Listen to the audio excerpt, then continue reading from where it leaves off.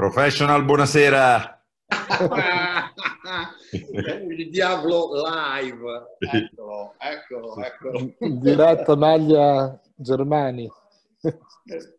Esatto. Zeta, che roba, Zeta, che roba è lì dietro? È venuto fuori questo blu nero dietro di te. Ho visto, mi devono santificare già l'aureola. Dopo due mesi in casa. Ciao Max. Ciao Vincenzo. Ragazzi, Dice... iniziamo ufficialmente perché come avete visto è arrivato Vincenzino Esposito, è arrivato soprannominato il Diablo, eh? so che tutti voi lo aspettavate, io lo lascio nelle sapienti mani eh, di Saba, che è il nostro, eh, conoscete tutti, il nostro preparatore atletico delle giovanili che ve lo presenta, sono molto contento che vi siate collegati tutti anche a quest'ora. Eh, Vincenzino è una leggenda per Imola, magari eh, era, era, il mio idolo quando giocava a Imola, quindi sono molto contento. È stato il primo italiano che ha giocato in NBA, quindi stasera avete una bellissima opportunità di ascoltare questo personaggio che è famosissimo. Magari qualcuno di voi, quelli, quelli più piccoli, giustamente hanno bisogno che vi venga un po' raccontato. Giustamente non c'è miglior persona che eh, il prof Saba, che coach Saba, per raccontarvelo. Quindi vi auguro un buonissimo a tu per tu e lascio la parola a Saba. Gra- grazie, grazie per l'introduzione Max. Eh, sono un po' preoccupato perché adesso vedo lì sotto 83 partecipanti, quindi è una roba impegnativa. Ah, eri molto atteso Vincenzino. Eri grazie. Allora, eh, Vincenzo come eh, come chiaramente non poteva essere altrimenti, è un ospite di super riguardo di queste belle trasmissioni che sta facendo l'International Basket per, eh, per i ragazzi, per i nostri giovani e soprattutto per i, per i giovanissimi. Introdurre Vincenzo eh, nel, in, in, questa trasmissione per me è un, è un onore perché Vincenzo è stato un campione eh, di assoluta levatura e un grandissimo personaggio nel mondo della pallacanestro. Quando Max mi ha informato che c'era Vincenzo, eh, io ho pensato che sarebbe, io gli ho detto eh, assolutamente, è una delle due o tre interviste migliori che puoi fare in Italia. E, e, e di questo sono assolut, assolutamente convinto. Max aveva degli altri dubbi, voleva le scalette, voleva questo, così. Io ho detto no, Vincenzo è un one man show, è, è, è, un uomo che fa, è un uomo che fa spettacolo da solo. E, e, la storia di Vincenzo è proprio questa, è un uomo di, di grande spettacolo, sia, sia, in campo, sia nelle relazioni umane personali, e sia nel, nel mestiere che sta facendo adesso con grande successo e grande, e, e grande proiezione futura, che è quello, che è quello dell'allenatore la nostra conoscenza di Vincenzo, con quel, con, come è, è, è, arrivato a Imola, eh, bisogna tornare indietro di 20 anni, di 22 anni esattamente. Ho, ho chiesto adesso era il 98, mi hanno detto. Esatto, 98, stagione 98-99. Certo, certo, certo. Vabbè, però stagione... scusa Marco se ti interrompo, però quando parliamo di Vincenzo parliamo della storia del basket italiano degli ultimi 30 anni, quindi su tutti i fronti, oltre che giocatore di talento squisito, forse il più grande talento che l'Italia ha avuto, tant'è che è stato il primo ad andare nell'NBA, come tu hai detto, qui parliamo anche di una persona, di un uomo di, di un grande cuore. Sì, in campo, io ricordo le, i tre anni che ha fatto con me, ha sempre dato tutto in qualsiasi partita, in qualsiasi, non si è mai tirato indietro, sia che la partita era una finale, era un playoff, oppure una partita di allenamento, tant'è che ricordo che... Anche, anche negli allenamenti, Zé, eh, troppo perché eh, i ragazzi devono sapere che insomma ho passato parecchie ore a lavorare sia con Sabba che, che con te, eh, anche al termine della stagione.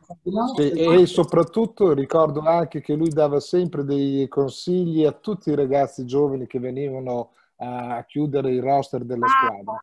Ma a questo c'è da aggiungere un'altra cosa, che è una persona di grande cuore a livello umano, è sempre stato disponibile per qualsiasi aiuto che poteva dare alla squadra, ai compagni e anche a noi della, dello staff.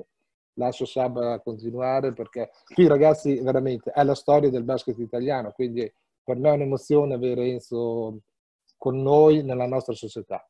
Grazie Zet. Saba. Si è mutato Saba. fare una...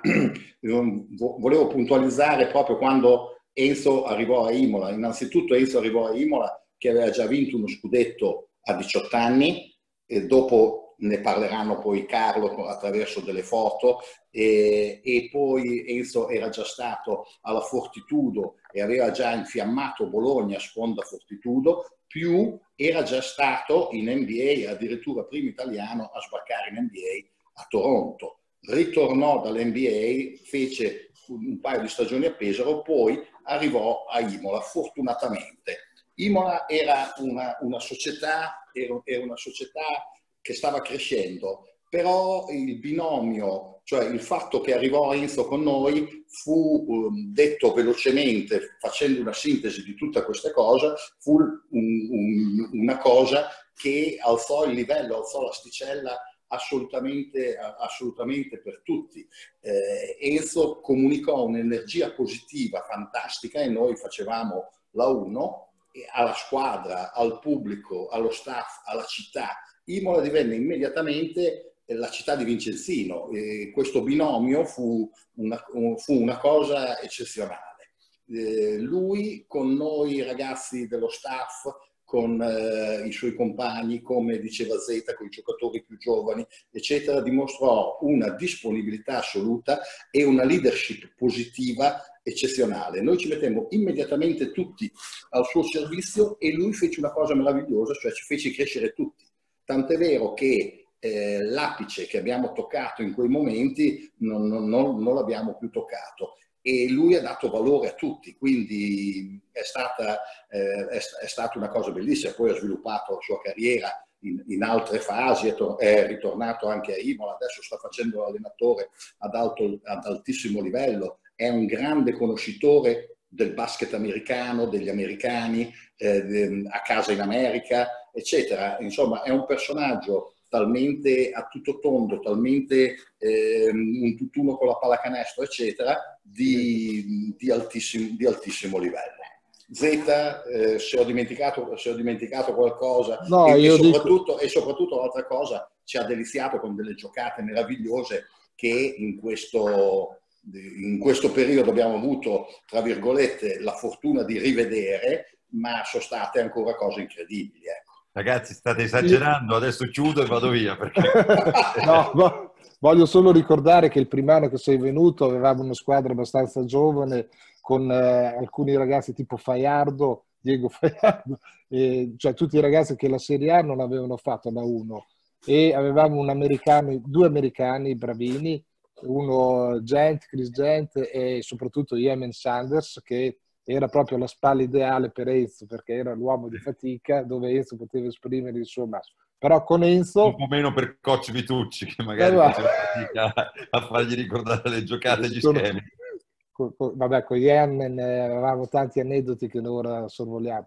Però con lui, con Enzo, abbiamo raggiunto per due volte eh, l'Europa, la Coppa Support che ci ha dato grande lustro alla nostra società.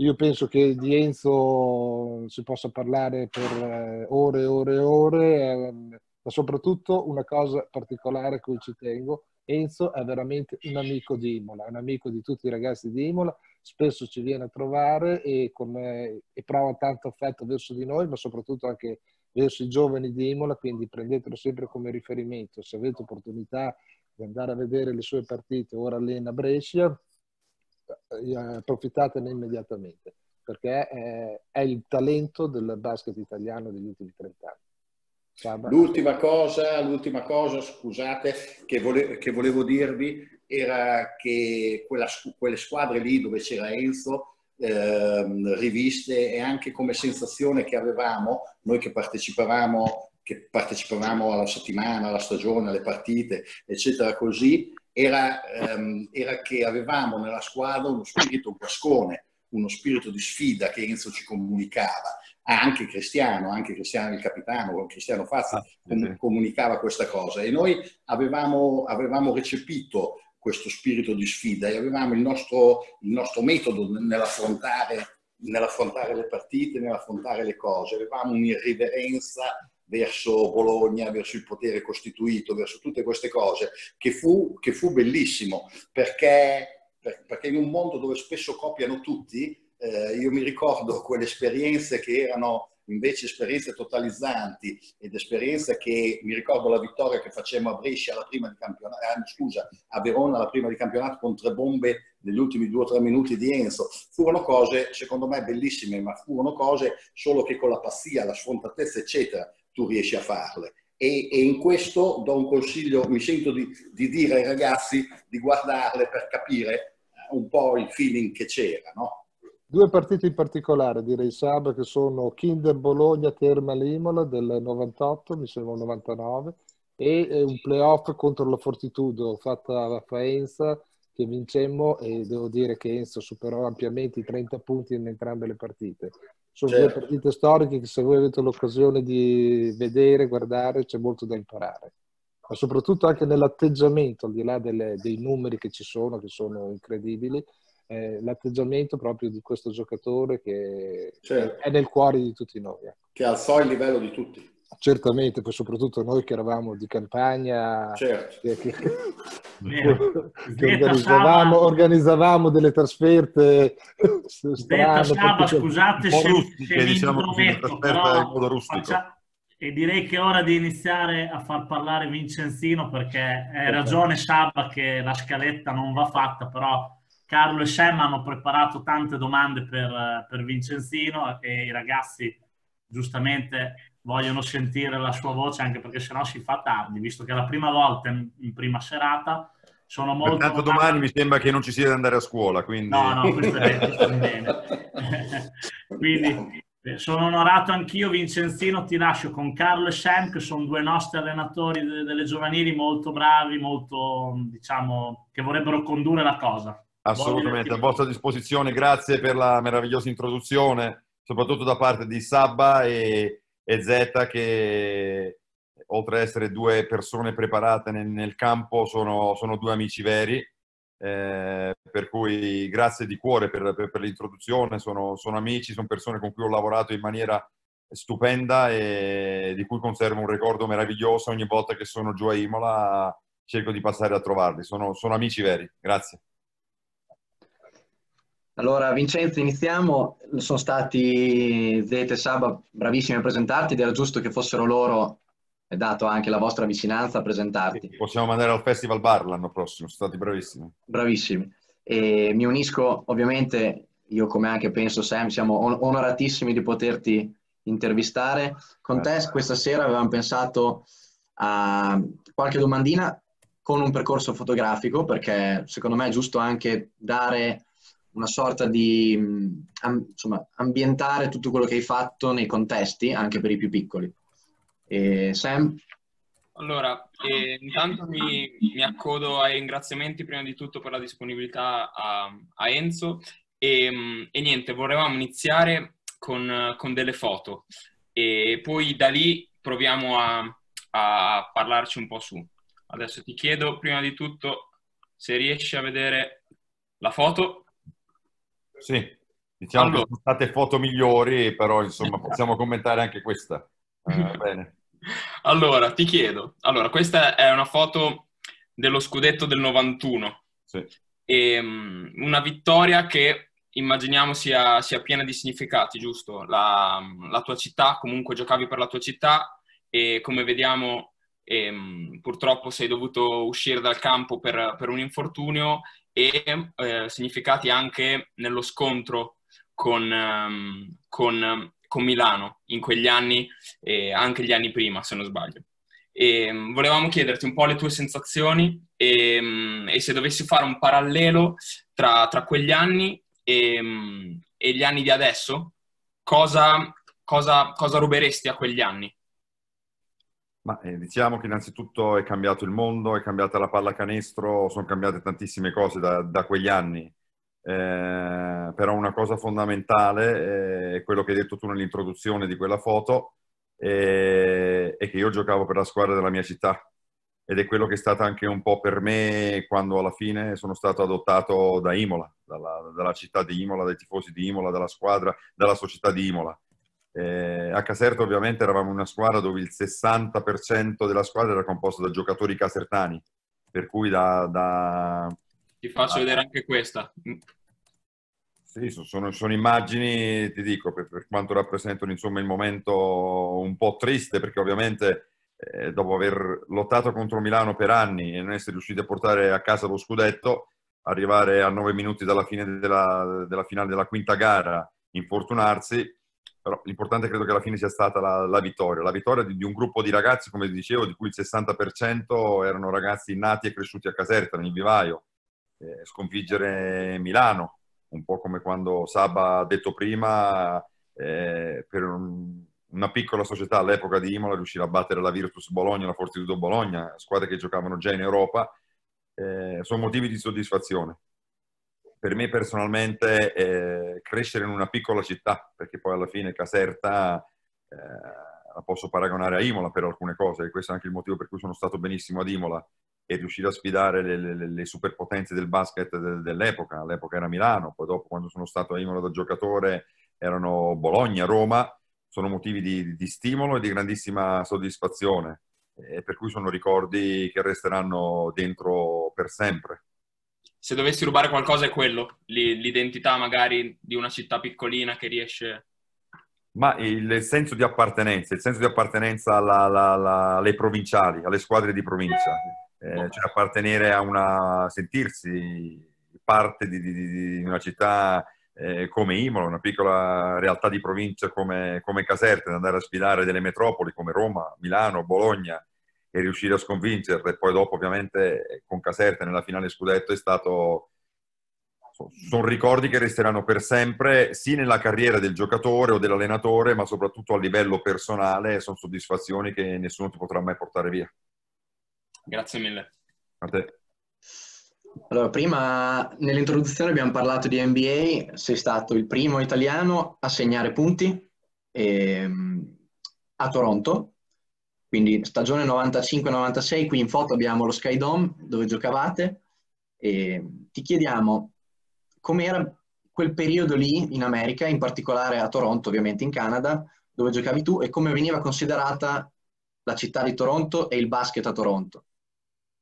Allora, per, eh, questo vale anche un po' per i ragazzi, i ragazzini che ci stanno seguendo, sai, eh, loro riescono a seguire, eh, adesso seguono l'NBA, leggono dell'NBA, adesso c'è, c'è, internet, quindi possono sognare e per un ragazzino di Caserta, di una piccola città del sud, eh, sognare già insomma a 15-16 anni un giorno di poter arrivare a giocare nell'NBA era, era eh, qualcosa di più che una, una semplice fantasia. E invece con la forza di volontà, con uh, il desiderio, il lavoro, la passione, ovviamente anche con una dose di, di fortuna, perché quella ce n'è bisogno sempre, eh, sono riuscito ad, arrivare dove nessuno pensava potesse arrivare mai un, un, ragazzino, figlio di un impiegato comunale di una piccola città come Caserta. E arrivi a Toronto, arrivi a Toronto, una città che era il primo anno, una società, una città che insomma era il primo anno nell'NBA, e devo dire che, che la scelta è stata, è stata, anche un po' forzata perché alla fine la mia scelta era caduta su Cleveland, però in quell'anno ci fu il, il lockout, ci fu lo sciopero dell'NBA e le uniche due franchigie che potevano permettersi di firmare i giocatori erano Vancouver e Toronto. Per cui alla fine, sai, salta, salta Cleveland, Toronto si fa sotto e pensando anche che era una città con su 4 milioni di abitanti, circa un milione di abitanti erano di origini italiane, non ci ho pensato due volte ad andare a Toronto sono stato fortunato perché poi alla fine sono stato accettato molto bene, l'inserimento è stato molto veloce, anche se all'epoca avevi poco più di 20 giocatori non americani a giocare nell'NBA, per cui è stata un'esperienza bellissima, ma abbastanza dura, soprattutto agli inizi. Grazie mille. A te. Vincenzo, ti chiedo, eh, invece a livello proprio di inserimento di una nuova franchigia dentro il mondo NBA, eh, l'avete sentito? Si sentiva all'inizio? C'era del pregiudizio? Ma no, si è sentita soprattutto tecnicamente perché ovviamente eh, essendo una nuova franchigia e poi soprattutto essendo in Canada, eh, un, una, una, zona del, del, Nord America che, che, vive solo, viveva solo di baseball e di, di hockey sul ghiaccio. Eh, I Maple Leafs, campioni per più anni dell'hockey, e i Toronto Blue Jays del baseball, quindi la pallacanestro, sai, non era, non dico non era ben vista, ma era poco conosciuta era anche un po' magari di ignoranza, però è ovvio quando cominci a portare dei personaggi come Damon Stadmeyer, Vince Carter, e altri giocatori col passare degli anni, Toronto è diventata una franchigia di, di, di primissima fascia fino ad arrivare al titolo dell'anno scorso. Grazie. Ti Vai. faccio vedere questa foto e ti chiedo, ehm, la tua NBA e l'NBA di oggi, eh, a tuo modo di vedere, quali sono le grosse differenze, eh, magari che hai notato nel salto, e, e ehm, le differenze che ci sono magari adesso con i giocatori che alleni adesso, la mentalità, tutte queste cose qui. Ti chiedo qual è la differenza eh, in questo senso qui. Ma allora, eh, quando sono arrivato io ne, ne, negli Stati Uniti, ripeto, il discorso atletico era la, la, prima cosa che balzava agli occhi, c'era una differenza atletica tra i giocatori non americani, diciamo i giocatori fuori dagli Stati Uniti, ma soprattutto europei all'epoca, adesso ci sono cinesi, sudamericani, ce n'è di ogni negli Stati Uniti, la differenza atletica era la, la differenza principale che, che, si notava con il, il resto del mondo. Eh, poi ovviamente il livello tecnico è cresciuto anche negli Stati Uniti, eh, mentre si è alzato poi invece il livello atletico delle altre realtà fuori dal, da, dall'NBA. Eh, è ovvio quindi che adattarsi, non tanto tecnicamente, ma al, alla velocità, la velocità di lettura delle giocate, soprattutto di, alla fisicità difensiva, che credo sia anche una delle, delle, delle difficoltà principali ad oggi dei giocatori non americani, eh, è, è, quello che ci separa ancora tanto dalla, dal, dal, mondo NBA. Però credo che, che il, il, resto del mondo sia cresciuto tantissimo, soprattutto dal punto di vista fisico, dal punto di vista atletico. Eh, e su questo potrebbe rispondere anche benissimo Sabba, eh, perché anche il suo modo di allenare eh, i giocatori di oggi si rende conto del materiale che ha per le mani adesso, anziché nel, nel, eh, nel, nei primi anni quando sono arrivato anche io a Imola. E questo ha accorciato un po' le distanze eh, dal, dal mondo NBA mentre una volta c'erano soltanto i veri fenomeni che facevano la differenza, come Petrovic, Kukoc, Raja, adesso parliamo di tanti giocatori che sbarcano nell'NBA, prendo per esempio Doncic, e dominava in Europa e riesce a dominare anche eh, da subito anche negli Stati Uniti. Ne parlavamo con, ne abbiamo avuto ospite di Paolo Antonio e parlavamo proprio di questo, dell'impatto fisico. E sicuramente loro sono arrivati un pelo prima e quindi il distacco sono stati ehm, come dire, ci hanno anticipato sotto quel profilo, ovviamente, come sempre, ci hanno anticipato sotto il profilo atletico che poi adesso si ripropone anche qui, cioè il profilo atletico eh, diventa sempre una... Un, un, ha sempre un'importanza maggiore più, più si va avanti col tempo, parlavamo di questa cosa qui.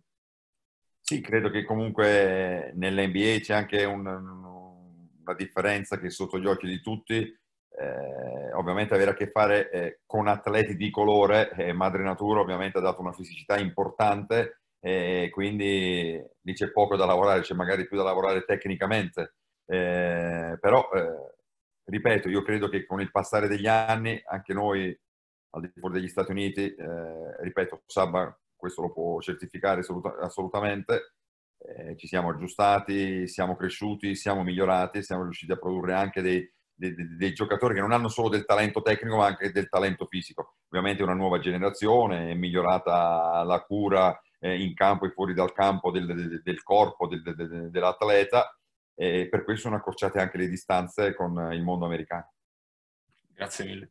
Prima di passare alla prossima domanda, visto che adesso abbiamo la fortuna di, di poter vedere The Last Dance, che è un po' un documentario su, quel, su quell'NBA in cui giocavi tu, ti chiediamo una pillola, se ce l'hai, su, ovviamente su Jordan.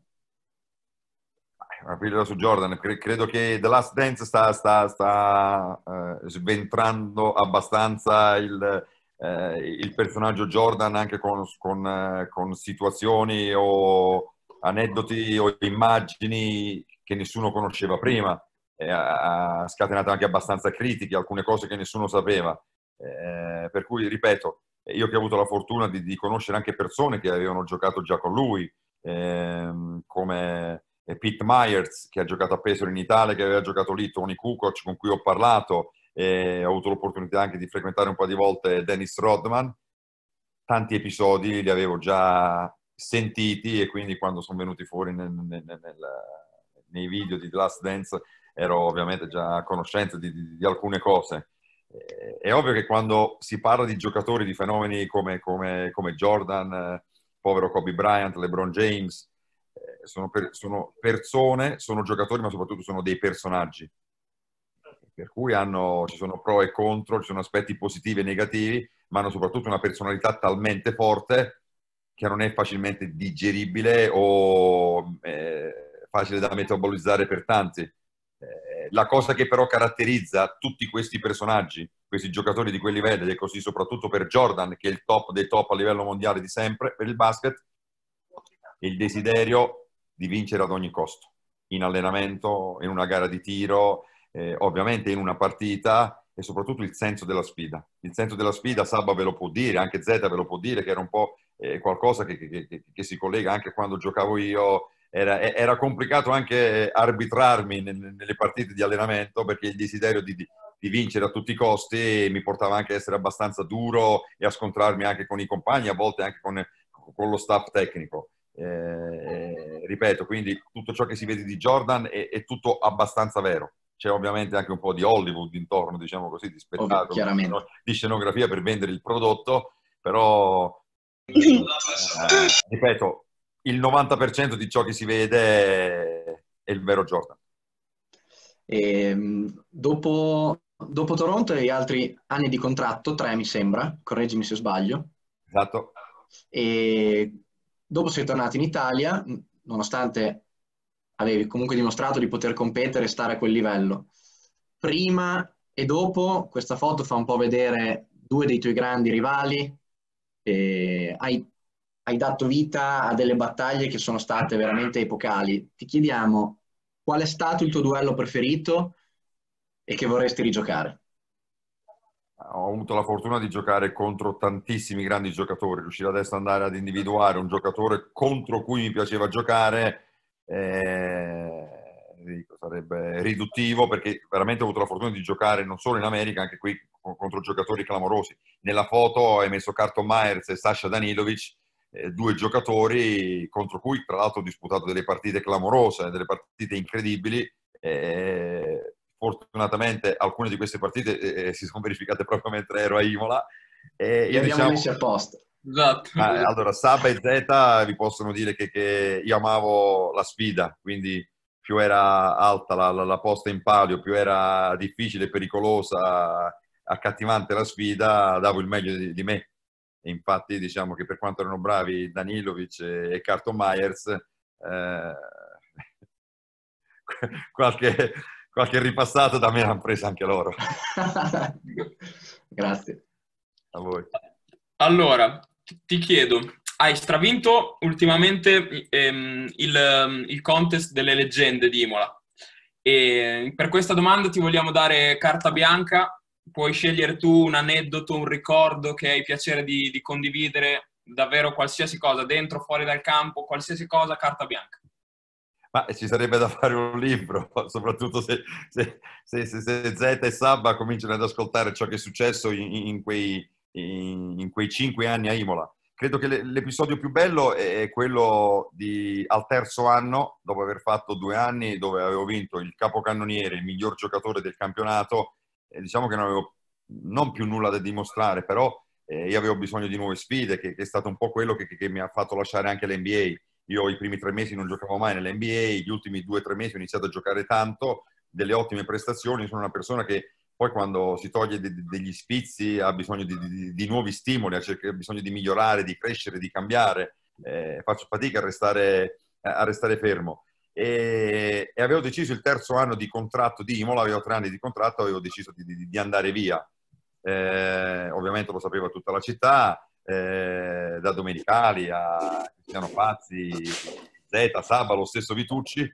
E andiamo a Venezia ad incontrarci con eh, le Studiantes Madrid, con il presidente delle Studiantes Madrid, con, il, con il, l'allenatore delle, delle Studiantes Madrid. Eh, a Venezia, ristorante una figata, bellissimo, eh, loro entusiasti di conoscere Esposito, tutto, insomma finisce la cena e loro mettono giù tre anni di contratto a una cifra clamorosa all'epoca. Eh, e mi restava di tornare ad Imola, torno ad Imola con il mio procuratore e nella stessa serata comunichiamo ovviamente a Giampiero Domenicali che ufficialmente che insomma era finita la storia di Imola e ovviamente Sbezzi, il procuratore, era contentissimo anche perché la sua commissione sarebbe stata veramente altissima andando alle Studiantes Madrid. E tra l'altro doveva andare eh, il giorno dopo doveva andare a Madrid. Quindi comunichiamo a Domenicali che non se ne è chiusa la storia ad Imola torniamo ad Imola per dormire e, ovviamente il mio legame con Imola ovviamente c'era il presidente delle Studiantes Madrid e l'allenatore che avevano già chiamato a Madrid avevano prenotato il volo per il giorno dopo ed era pronta la conferenza stampa il pomeriggio alle tre e mezza a Madrid. Eh, io però torno a casa e, e, quella notte non riesco a dormire. Il legame con Imola, con la città di Imola, con le persone, lo dico non perché sono lì, le persone come, come eh, Sabba, Zeta, Massari, lo stesso Frank Vitucci all'epoca, Giampiero Domenicali, io non riesco a dormire, non riesco a dormire quella notte e, e questa immagine clamorosa, poi ne parleremo magari. Allora eh, a casa con me eh, era tutto pronto per partire, allora mi, andiamo a dormire, il mio agente Riccardo Spezzi dice dormi che domani è una giornata impegnativa, ovviamente non dormo, alle 5 di mattina, avevamo l'aereo alle 8 e mezza di mattina per andare a Madrid, alle 5 di mattina mi alzo e vado da, da Svezia e gli dico lo sveglio eh, dico ascolta, non se ne fa più nulla. E lui dice, ma che è, là. ma torna a dormire, va che tra tre ore dobbiamo partire che c'è l'aereo. Ci svegliamo alle 8 e io gli confermo che non si parte. Non si parte, si resta a Imola. Quindi puoi immaginare il casino che succede, che figuraccia che adesso chiama il presidente di Madrid, io non posso più sbarcare in Spagna, dice lui, mi hai rovinato. E, e firmo per altri tre anni a Imola eh, ovviamente con, con Domenicali che, che, credo piange ancora, da, da, da, sono 11 anni che piange ancora dopo questa notizia e, e tra l'altro firmai a Imola eh, un contratto in bianco. Giampiero dice guarda qui la situazione economica e non è una novità, insomma Imola non era brillantissima, fatto guarda No, no, non mi frega nulla, fatto pur di restare a Imola, metti tu una cifra giù, io sto bene a Imola, è la mia città, resto qui a Imola, sto bene, sto bene qui. E quindi questo qua per farti capire il legame che ho con Imola, con Giampiero e con le persone, due de- delle quali sono adesso qui in chat con noi, e perché sono rimasto legato a Imola e, e la città mi vuole ancora bene. Rinunciare alle Studiantes Madrid, eh, Sbezzi mi riparlò dopo sei mesi, è ancora il mio procuratore, però eh, mi ha riparlato dopo sei mesi per questa incazzatura. E non ha più firmato nessuno in Spagna, tra l'altro.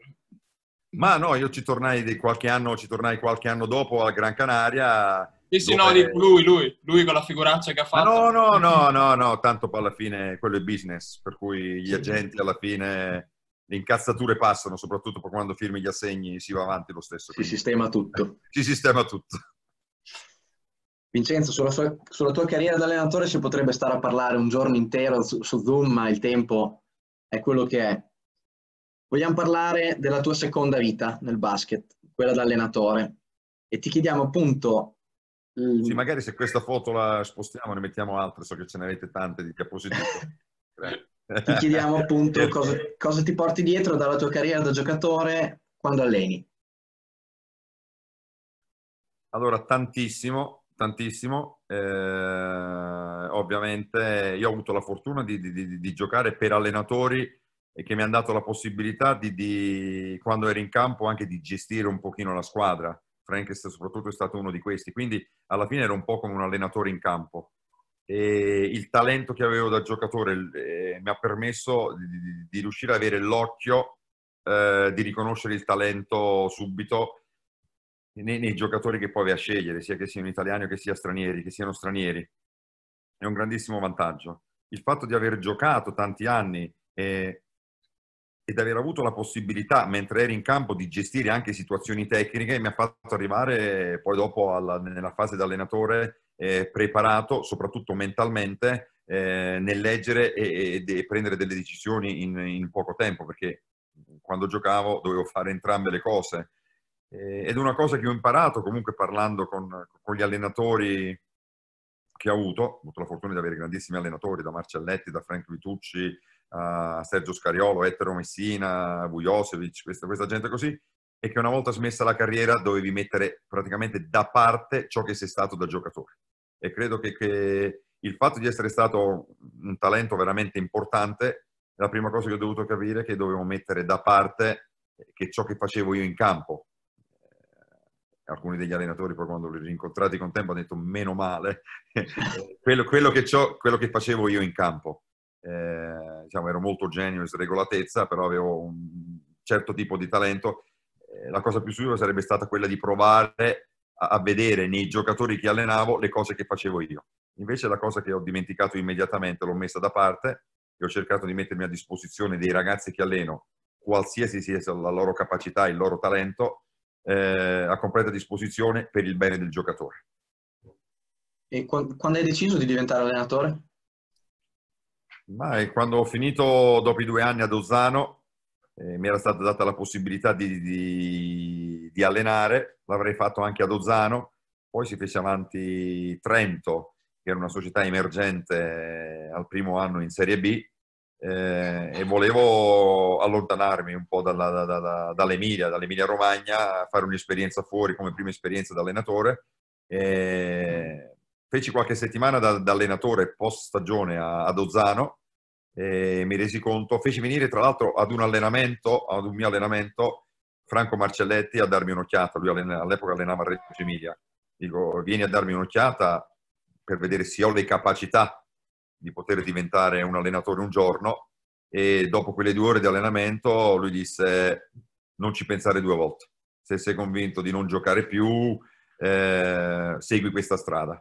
L'altra cosa che è una, che una roba che ho imparato anche da, da, da, da, da Saba, eh, parlando con Saba tante volte, perché con Saba io avevo un rapporto veramente unico, fraterno, prima degli allenamenti, durante gli allenamenti, dopo gli allenamenti, eh, lui mi aveva anche fatto capire che il giorno in cui Enzo eh, non puoi essere più Enzo e ti pesa entrare nello spogliatoio, eh, nel mettere le scarpette, nel mettere su i pantaloncini per entrare in mezzo al campo, eh, tu devi essere Enzo in mezzo al campo. Il giorno in cui non ti senti più Enzo, lascia stare e fai qualche altra cosa. E questo, questo qui è qualcosa che mi ha lasciato Sabba dentro.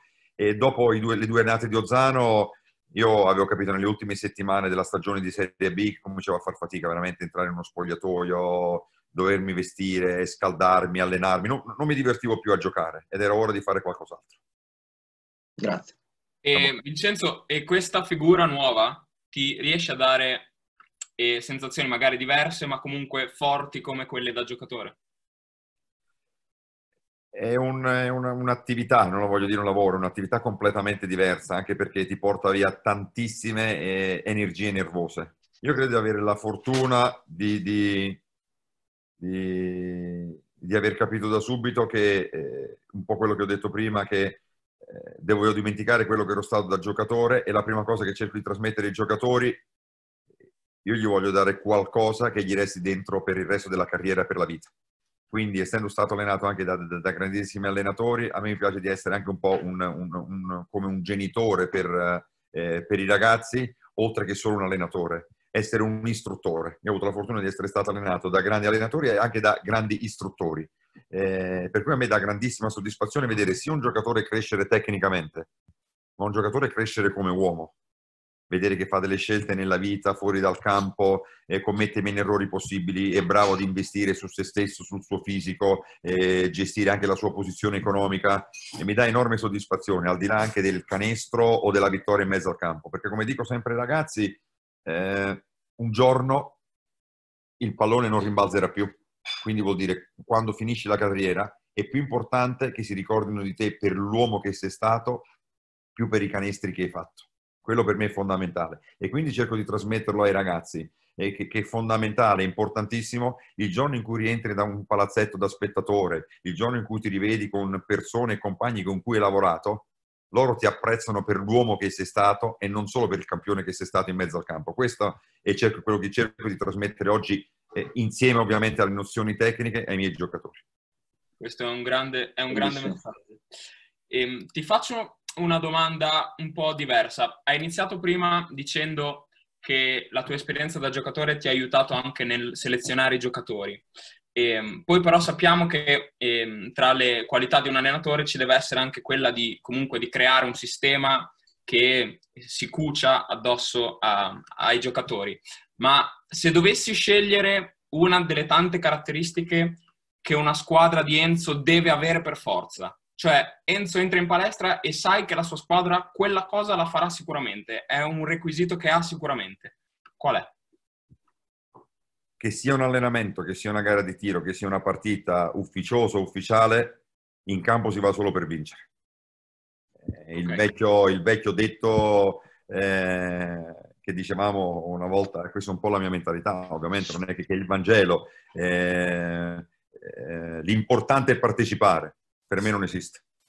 Tu vai in campo per vincere. Mentalità. Soltanto la forza che hai dentro per cercare di vincere sempre è quello che ti porta poi a migliorare.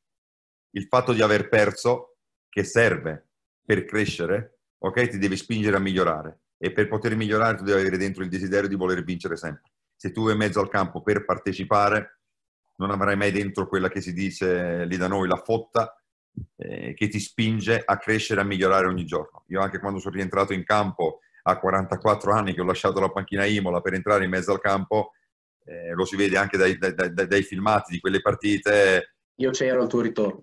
Eh, io, io, impazzivo a vedere che, che, un avversario ti segnava in faccia o che perdevi la partita. per me anche l'allenamento a 44 anni doveva essere, ci doveva essere una competizione altissima. Lo spirito di competizione, il desiderio di vincere, eh, ma questo deve essere anche nella vita, nel lavoro, eh, non solo nello sport, è quello che ti spinge ad essere migliore, ma anche come persona. Cioè ogni giorno cercare di fare qualcosa di buono, non sederti, è quello che ti fa diventare una persona migliore, un giocatore migliore, un, un impiegato migliore. Eh, io ho questo desiderio che ho sempre avuto dentro di cercare di essere il migliore, non solo come giocatore ma anche come persona. Ed è il riconoscimento più bello poi quando ti trovi a rivedere amici di, di, anche di, di 30 anni fa. Grazie mille.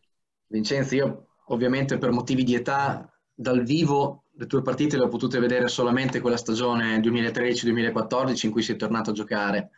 Volevo, prima di passare a quella foto che vedi, volevo chiederti qualcosa sulla foto precedente, della stagione tua da allenatore in cui ti troviamo al Palaruggi con Saba. Se ci, se ci, racconti qualcosa di quella stagione iniziata come allenatore e finita come, come giocatore. Ma eh, diciamo è stata una stagione di, di, di, di, sofferenza, di grandissima sofferenza. D'altra, punti, d'altra parte i, i, due punti, una vittoria in una stagione intera, insomma, credo non abbiano bisogno di, grossissime spiegazioni. Eh, però proprio dimostra probabilmente anche il, il, il, legame forte che mi legava alla società, alla città di Imola. A un certo punto quando eh, abbiamo cominciato a perdere i pezzi i giocatori eh, per vari motivi, senza andare nel dettaglio, eh, io mi sono sentito il responsabile eh, di aver chiamato anche dei giocatori in quella, in quella squadra, eh, il responsabile della situazione tecnica e non, e ho detto io posso fare soltanto una cosa, anche se non sono più l'esposito di, di, di dieci anni fa, eh, mi, mi rimetto magliette e pantaloncini e vado in campo e, è ovvio che il, il, cuore di alcune persone, tra cui Z, Sab e tantissime delle persone, eh, spingevano per fare una roba del genere, anche se io sapevo che alla fine più di tanto non, non, non potevo fare. Però eh, mi ricordo un aneddoto incredibile è stato quello di, di, di, Domenicali, perché a un certo punto facevamo allenamento anche in otto persone, non c'erano persone per, per arrivare a dieci. Eh, mettevo Federico Vecchi, eh, o Pattuelli ad allenare o ad arbitrare e mi mettevo in mezzo con i giocatori a giocare, anche se non avevo voglia. A un certo punto Giampiero, dopo il secondo terzo canestro, e avevo 44 anni, da 4 anni giocavo solo a golf, Giampiero dice, va bene che siamo in 9, ma il decimo giocatore volendo ce l'avremmo già. Diciamo che mi sono fatto intortare da Giampiero, un po' dalle chiacchiere così, di, di, e poi l'affetto che avevo anche verso Giampiero, e ho detto Giampiero, se devo fare questo per Imola lo faccio. Quindi sono rimesso scarpette, magliette e pantaloncini, mi sono strappato tre volte eh, in quattro mesi. Purtroppo, eh, purtroppo. purtroppo. Però diciamo qualche bello episodio, anche qualche bella giocata e qualche soddisfazione ce la siamo tolta lo stesso, partite ne abbiamo vinte poche, anzi nessuna, però insomma se proprio dovevo finire così in mezzo al campo l'ho fatto molto volentieri per Imola. Ma io ti voglio fare i complimenti per quella stagione perché io mi ricordo che venivo a vedere e da quando sei tornato te la squadra era un'altra cosa, cioè a livello proprio di, di, di voglia, di... di... Cioè io vedevo questo giocatore che aveva 44 anni e andava il doppio degli altri, ne aveva più voglia degli altri e dicevo ma com'è possibile, cosa c'ha dentro questo? Poi dopo era lampante cosa avessi dentro. Grazie, grazie tanti. Carlo, ti voglio raccontare un aneddoto di quell'anno per far vedere anche lo spessore di, come abbiamo detto, di uomo di Vincenzo. E io facevo parte del gruppo Under 19 quell'anno e dopo tutto questo caos che ovviamente influenzò anche noi perché il nostro allenatore era vecchio, insomma, influenzò tutti, e mm, noi arrivammo alle finali nazionali elite e Enzo ci chiamò e ci disse va bene, allora se vincete tutte e tre le partite dell'Interzona vi pago la cena. E mi ricordo che mantenne la promessa, ci portò tutti a mangiare e noi quelle partite ce le ricordiamo anche perché Enzo ci chiamò quel giorno lì. Bello, bello. Fa capire lo spessore del, del personaggio. Grazie davvero, grazie. Non, questa non me la ricordavo, mi ricordavo che erano rimasti sorpresi anche i ragazzi della prima squadra, quelli più giovani, che non erano mai andati fuori con l'allenatore all'inizio detto ragazzi abituatevi, come dovete avere un rapporto vero, l'importante è che in mezzo al campo date tutto. E a voi vi avevo promesso quella roba e ho mantenuto la promessa perché è stato un motivo di soddisfazione. Grazie mille. Carlo, direi che possiamo partire con le domande del pubblico. Sì, partiamo. Allora, Luca Sabbioni ti chiede come sei stato accolto a Toronto e se c'erano degli stereotipi sugli italiani. Un po' abbiamo già risposto, visto che Toronto ha tante influenze eh, italiane, ma anche multietnica come, come, città. Insomma, se c'erano degli stereotipi magari anche fuori, fuori da Toronto sugli italiani. Ma assolutamente no. Eh, come ho detto prima, sono stato fortunato a capitare in una città di 4 milioni di abitanti, di cui circa un milione era di origini italiane eh, super, anzi quando non veniva utilizzato i primi mesi c'erano anche delle polemiche da parte del, perché ero stato poi il primo giocatore firmato dai Toronto Raptors quell'anno, sono state anche un po' di polemiche da parte dei giornalisti eh, sul fatto che, che, che la, la, popolazione italiana si è anche un po' sentita presa in giro eh, firmare un giocatore italiano, magari l'avevano visto un po' come un'operazione mediatica, un po' una furbata, diciamo così, per cercare di, di, di attirare l'italo canadese e avvicinarlo alla pallacanestro. E poi dopo, ovviamente, quando ho iniziato a giocare, ho fatto anche de- delle ottime prestazioni eh, ovviamente si sono, si sono, rivalsi su quel, quel, discorso lì dicendo avete visto, avete aspettato fin troppo a buttarlo in mezzo al campo. Chiedere informazioni a New York, eh? 18 al Madison. 18. Sì, la, la, gente parla di quella partita lì, ma ci sono state altre partite con Seattle, con New Jersey, eh, Portland, altre partite che comunque... Eh, però è, è, ovvio, ripeto, eh, se la gente ti va a paragonare a quello che fanno adesso i vari Gallinari, Bellinelli eh, o Bargnani quando è arrivato nell'NBA, però parliamo di un'altra NBA, di un'altra epoca. Domanda di Paolo Irti chiede in allenamento nelle gare di tiro tra Gentile, Esposito e Oscar chi vinceva? Ma io ero, ero molto bambino, però non so se eh, il, il, mio talento dal punto di vista di tiratori, io ero un realizzatore, quindi ero in grado di segnare in qualsiasi modo. Parliamo di Oscar che è uno dei più grandi tiratori al mondo di sempre. Di sempre quindi non c'era storia. Oscar ci dava la paga facile a tutti noi. Eh, Gentile finiva dietro di me facile, eh, però con Oscar non, non, potevi competere. Tiratore, tiratore di, di, di, livello mondiale. A proposito di quella, di quella caserta lì, ti volevamo chiedere qualcosa sulla finale dell'89 contro Petrovic. Com'è stato essere in campo con lui? Ma eh, allora io eh, ti dico, lì praticamente è stata una gara di uno contro uno, Oscar contro, contro, Petrovic, perché uno ne ha fatti 60, uno ne ha fatti 42, credo, quindi una partita di, di, da 200 punti, 120 ne hanno fatti quei due, 115, quindi eh, io, io, ero un ragazzino, eh, avevo veramente 19 anni, eh, partì in difesa su di lui, diciamo che oltre a non essere il mio forte la difesa, credo che quella giornata lì la difesa non sia stato il forte di nessuno perché hai preso 62 punti 120, del Grugno così. E quindi cioè, so che poi Marcelletti alla fine ha provato Dell'Agnello, ha provato Gentile, ha provato anche Polesello da mettergliela addosso, non sapeva cosa fare eh, ripeto, però è stata una partita clamorosa però a 19 anni arrivare a fare una finale di Coppa delle Coppe credo, ripeto, poi per, per la squadra della, della tua città eh, poi contro il Real Madrid perché aveva Petrovic, però aveva dei, dei giocatori, Biriukov, i fratelli Martin, eh, una, roba, una, roba, una roba indimenticabile sicuramente. Edoardo Mongardi, che è un nostro bimbo del mini basket, ti chiede: Allora, quando hai capito che avresti fatto del basket la tua vita? Chi è il tuo compagno di sempre e la tua partita indimenticabile? Allora, partiamo dall'ultima, così dopo mi ricordi le altre tre, tutte e tre okay. le domande. Così. Allora, la partita indimenticabile, eh, te ne posso dire due. Sicuramente quella del Madison Square Garden. Fare 18 punti in 21 minuti per una persona che un giocatore che fino ad allora era stato un po' Eh, snobbato, poco utilizzato, poi al Madison Square Garden è stato motivo di soddisfazione. Eh, compagni indimenticabili, ne ho avuti tantissimi.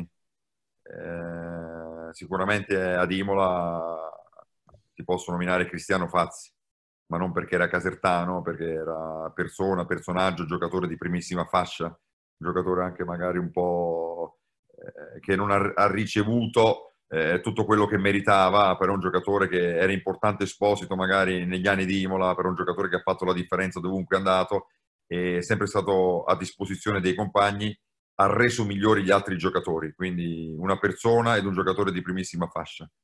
La prima domanda era invece? Ehm, la prima domanda era quando hai capito che avresti fatto del basket la tua vita? allora avevo provato, io ho iniziato a giocare a pallacanestro a 5 anni, eh, avevo provato, diciamo, dai 5 ai 10 anni, ho, portato, ho provato a fare nuoto ed ho beccato la bronchite dopo pochi mesi. Ho provato a fare calcio ed avevo sempre male ai tendini. Eh, mi hanno messo in un campo di pallacanestro e facevo già 30 e 40 punti e da bambino ho detto secondo me è meglio che, che, che, rimaniamo su questo binario. Diciamo che insomma la carriera mi ha dato ragione alla fine, lasciando perdere calcio e nuoto che non facevano per me. Scelta facile alla fine. Ma Vincenzo, ti facile no, perché devo dire la verità, il calcio piaceva, il calcio mi piaceva, eh, non so se Sabba è ancora, è ancora collegato, facciamo un amichevole allo stadio di Imola una volta contro una selezione dei, dei giocatori, eh, non so, cantanti, personaggi famosi allenati dal, dal, dal mister dell'Imolese Magrini. Molto, molto, molto, colpito del mio lavoro sulle palle inattive. Quindi, mister Magrini, che allenava, credo, quella formazione, una, una, una partita in beneficenza. Poi il sabato abbiamo scherzato su per degli anni su mister Magrini e mi diceva, Diablo, ti vedo molto bravo sulle palle inattive. Eh, eh, però eh, ho fatto meglio lasciare perdere il calcio e il nuoto. Lascia stare, meglio la pallacanestro sicuramente. Sì, anche in chat ci dicono santa bronchite e non possiamo che essere d'accordo. e, ti facciamo altre due domande, poi ti liberiamo, ti lasciamo i ringraziamenti di Z. E ti chiede Filippo Gulinelli perché il Diablo e cosa preferisci tra allenare e giocare e quali differenze ci sono? Allora anche qui partiamo da sotto. Allora, giocare tutta la vita giocare tutta la vita perché hai la possibilità di, di esprimere il tuo talento, eh, di sfogarti in mezzo al campo e poi soprattutto dopo eh, devi pensare eh, soprattutto alla tua testa e non devi metterti a, a controllare altre 20 situazioni.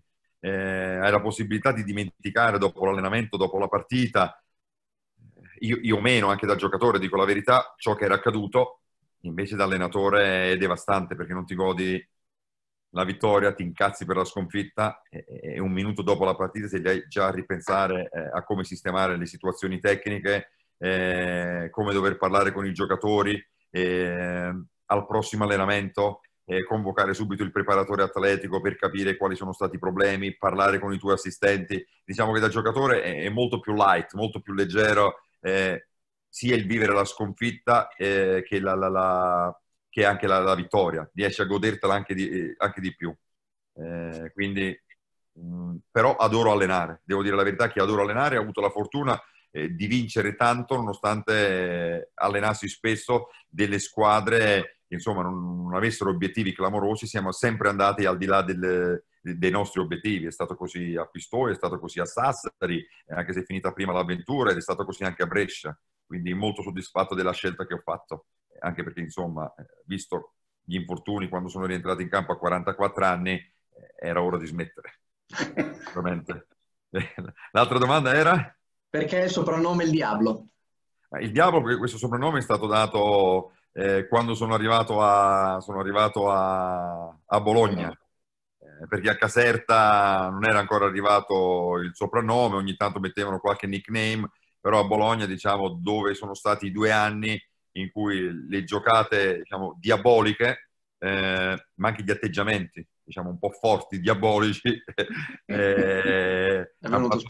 Sì, sì, sì, a, a questo nome è piaciuto ed è partito e, e mi è rimasto affibbiato addosso. Devo dire che eh, mi piace, anche se adesso da allenatore ovviamente il diavolo non esiste più, però in mezzo al campo, oppure quando ti rivedi con, con delle persone con cui hai legami forti, anche con, tipo, eh, tipo Sabba o qualcuno dei, dei, personaggi che c'era all'epoca, compagni di squadra, da Romboli eh, a Gianluca Castellari, il massaggiatore, eri sempre Diablo, Diablo anche con 2B, 3B oppure Diavolo, quindi mi va benissimo. Enzo, Alessandro Matteo invece ti chiede eh, una roba un po' più tecnica. Quanto tempo dedicavi al tiro da giocatore e quanto ne dedichi, da, dedichi ora da allenatore?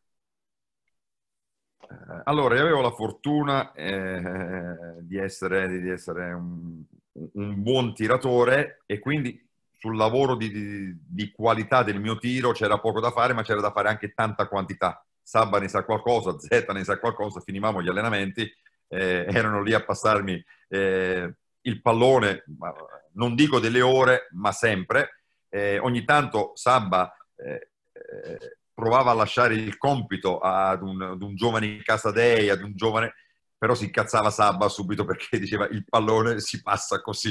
E Sabba l'aveva preso da, da Steve Bart perché eh, i grossi realizzatori volevano tirare in una determinata maniera, volevano il pallone in un certo modo. Quindi io facevo tantissima quantità e un po' meno qualità perché, eh, grazie a Dio, le mie mani erano, er-, erano discrete adesso da allenatore dedico tantissimo tempo eh, agli esercizi di tiro, dove però curo molto di più la qualità, perché giocatori con le mani buonissime non ci sono e quindi prima di arrivare alla quantità eh, devi lavorare più di qualità, cercare di mettere a posto la tecnica, i piedi, le mani, scegliere le posizioni. Poi una volta che hai imparato il meccanismo per bene, eh, inizi a andare su della quantità. Però dedico, dedico almeno due pezzi dell'allenamento, che sia inizio settimana o fine settimana, eh, al, al, lavoro di tiro. E almeno una volta a settimana, eh, al di là delle capacità del giocatore, una seduta solo di tiro di, di, di tanta quantità. Grazie mille. Vincenzo, ti facciamo un'ultimissima domanda, proprio flash. E ti facciamo vedere la foto di un giocatore che dovresti conoscere, che noi a Imola conosciamo bene, e Tommaso Marangoni, il nostro ragazzo eh, che è insomma, nato e cresciuto qua, che tu hai avuto eh, l'opportunità di, credo anche di allenare in prima squadra ogni tanto. Ti chiediamo eh, se c'è qualche giovane interessante che ti va di segnalarci, oltre a Tommaso. Ma eh, credo che ci siano tanti giovani in giro per, uh, per l'Italia. Allora, Tommaso è un buonissimo giocatore, quest'anno ha avuto purtroppo zero possibilità di lavorare con noi perché ha avuto due infortuni anche che l'hanno tenuto fuori dal campo. Quindi, eh, giocando noi anche all'Eurocup, che siamo andati avanti per tanto tempo, eh, riuscire a inserire un giocatore eh, che secondo me tecnicamente può partecipare agli allenamenti, aveva bisogno di, di, di, di, inserirsi gradualmente fisicamente all'interno della prima squadra, dove il livello fisico è molto competitivo e purtroppo i due infortuni non gli hanno permesso di inserirsi con noi e, e, e non è mai riuscito a lavorare, a lavorare, con noi. Brescia recluta un reclutamento discreto anche a livello giovanile, abbiamo un buon settore giovanile. E, è ovvio che io, eh, quando l'opportunità di poter inserire un ragazzo anche in prima squadra, dargli la possibilità di giocare qualche minuto, l'ho sempre fatto. Però ovviamente quando inizi a partecipare a competizioni importanti come l'Eurocup, e cominci a viaggiare nelle parti alte della classifica, eh, alcune volte non hai né il tempo eh, e le partite sono talmente ravvicinate come punteggio, fai fatica a riuscire a inserire in dei momenti della partita dei giocatori giovani. Però noi abbiamo dei giocatori interessanti a, a Brescia, ma credo che nei prossimi anni anche in giro per l'Italia eh, i settori giovanili potranno tirare fuori dei giocatori interessanti. Alcuni già giocano in Serie A2, spero che magari con qualche modifica del regolamento eh, nei prossimi anni diano la possibilità a qualche ragazzo di mettersi in mostra, così come è stato anche per noi con un ragazzo giovane che ha avuto a Pistoia agli inizi come Tommaso La Quintana e si è ritagliato uno spazio importantissimo anche quest'anno qui da noi. Tra l'altro avete vinto come società, mi sembra, la classifica dei minuti giocati dai giovani, può darsi? Sì, sì, sembra... infatti, no, i giocatori italiani, i giocatori sì, italiani, scusami, credo di, italiani. I giovani under 25 siamo arrivati terzi, però abbiamo stravinto la classifica degli, dei, dell'utilizzo dei giocatori italiani, perché poi giocatori anche come, per dire, come eh, Abbas, che sembra un giocatore il cui nome gira da tanti anni, o anche la Quintana, sono comunque giocatori giovani. E invece ho visto anche spesso e volentieri anche il posto in quintetto perché lo meritavano e perché sono ragazzi che comunque hanno dimostrato voglia di vincere e di voler crescere nelle settimane di allenamento. Grazie mille Vincenzo. Enzo, Poi. ne approfitto per, per, farti prima di tutto i complimenti per la stagione che purtroppo si è, si è conclusa prima per questo, per questo virus e, e, poi ti lascio a Z per, per, i ringraziamenti finali e ne approfitto anche per ringraziarti ovviamente di nuovo per la disponibilità. È stato un grande piacere. Grazie a voi, grazie a voi per eh, le presentazioni, la fluidità delle domande e, e l'affetto che avete dimostrato anche nel, nel commentare determinate situazioni. Grazie. Fulvio, a te. È andato via Z, no? No, sono qui. Eh, allora volevo... Ero preoccupato, alle 10 Z ci può stare che gli viene la pioggia. In effetti hai ragione.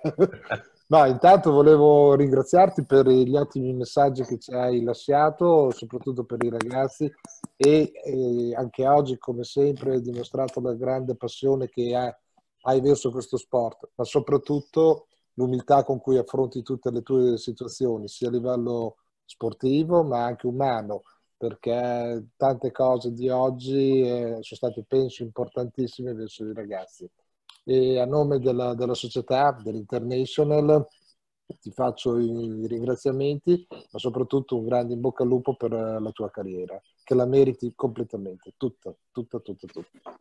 Grazie Enzo. Grazie, grazie a voi, grazie Zeta, grazie Sabba. Grazie. Di vedervi il, primo, il prima possibile eh, giù ad Imola e fare delle chiacchiere dal vivo che penso ne abbiamo bisogno un po' tutti e poi se c'è la possibilità di passare a un vostro camp o anche vediamo come si metterà l'estate o a qualche vostro allenamento e sapete che avete la mia totale disponibilità, eh, soprattutto per l'affetto che mi lega ad Imola e, e, a voi due veramente un affetto fraterno. Grazie.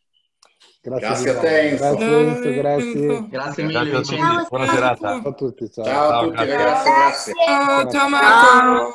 Ciao, ciao. Arrivederci.